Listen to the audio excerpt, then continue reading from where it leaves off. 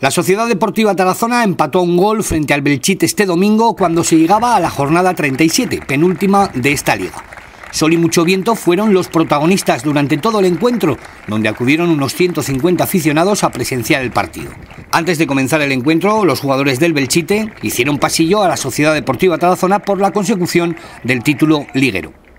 Con este empate, el Belchite consiguió la permanencia y la Sociedad Deportiva Tarazona igualó su mejor marca en tercera división, con lo que una nueva victoria o un empate el próximo domingo frente al Casetas mejoraría los datos marcados en su historia, haciendo la mejor marca de puntuación en su paso por tercera. Destacar que tras la victoria del Deportivo Aragón este fin de semana, el filial del Real Zaragoza también es ya equipo de playoff. Será en la última jornada cuando se decida qué dos equipos más acompañarán a Tarazona y Zaragoza a disputar el ascenso a Segunda B. Con posibilidades, y dependiendo de ellos mismos, están el Sariñena y el Illueca, donde Utebo y Borja, que juegan entre ellos este fin de semana, buscarán la victoria a la espera de lo que ocurra, sobre todo en el Papaluna.